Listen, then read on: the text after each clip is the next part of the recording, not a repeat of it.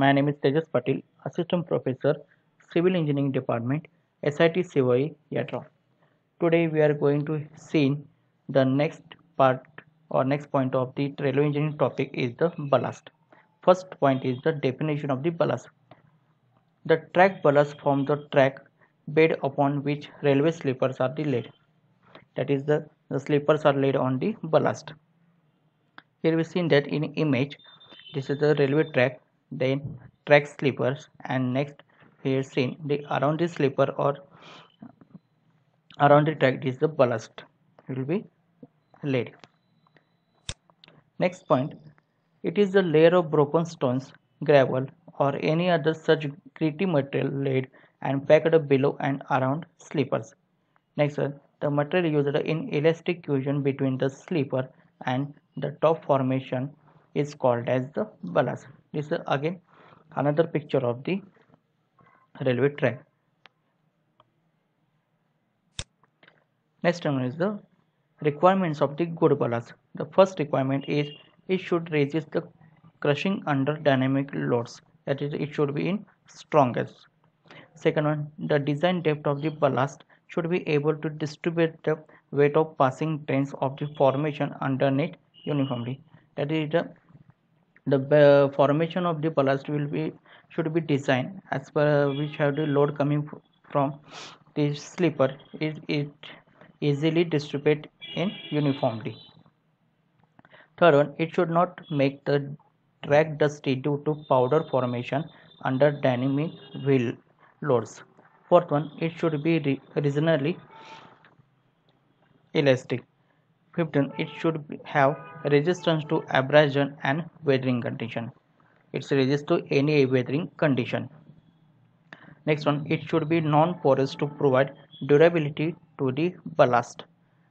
Next one it should hold the sleepers laterally and longitudinally under all conditions traffic especially on the curves. That is the it is that the sleeper should be held at the any type of the longitudinal or curve section curve or turning position of the railway track. Next one it should be able to facilitate easy drainage to rainwater. That is in a rainy season it is the it should be in easy and fastly uh, drain, drain the water from the track. Next one is the function of the ballast it provides a hard and level bed for the sleepers. Second one, it holds the sleepers in proper position during the passage of moving trains. Next, it provides some extent and elastic bed of, for the track. Next one, it transmits and distributes the moving load of the trains from the sleepers to the formation uniformly. Next one, it protects the formation surface from direct exposure to sun, rain and frost. Next one, it provides the proper drainage to the track, keeping the sleeper in dry condition. That is the it is the same uh, functions and requirement of ballast is points are same. Next one is the it obstructs the growth of the vegetation at the track formation. These problems create at the rainy season. Next one, it provides proper super elevation to the outer rail on curves. Next one, it provides an easy means for correcting the unevenness of the track. Next one is the it provides a lateral and longitudinal stability to the track.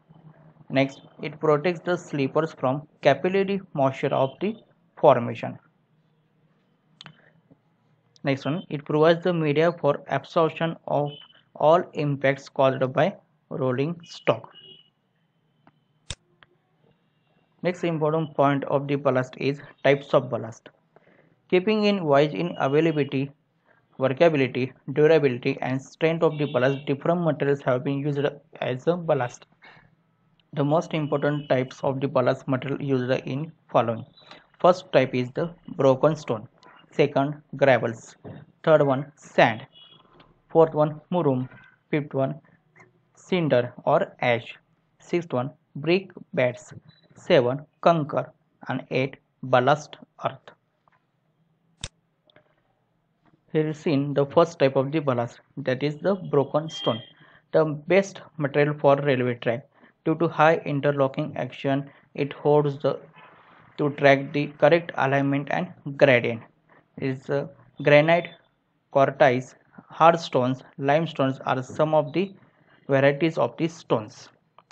This this type of this stone or broken uh, this type of the ballast it is the used at uh, everywhere in the track or railway track. Next type is the gravel. The gravel obtained from the river beds or pits. It is a cheaper than broken sand. That is the it is the cost of uh, its cost is less. Next has excellent drainage property. Next requires screening before use. Here see in that gravel. This type of ballast used as the river beds or the pits for the good drainage property. Third property or third type is ashes and cinder. Residue obtained from coal used in locomotives is cinder. Has good drainage property. Corrosive property and fortunate should not be used where steel sleepers are used. That is this type of the ballast we have to use at the locomotive yard or locomotive section. Fourth type of the ballast is sand. The best material for ballast. Next one the good drainage property. Next one is gives silent strike. Next one the good for packing of cast iron pot sleepers. This type of this ballast we have to use in desert location or desert area that is in India we have to use in Rajasthan. Next one is the muru decomposed laterite rocks, red in color, under heavy loads crumbles to powder, used in siding and embankments. Sixth one is the kankar, found in the form of nodules of varying size. Next one useful for the meter gauge and narrow gauge tracks with the light traffic. This type of the ballast we have to use where the traffic of the train is very less next type of the ballast is brick ballast or burnt bricks are broken in small pieces used as ballast. Fairly good enough drainage property becomes powder under heavy traffic and tracks become dusty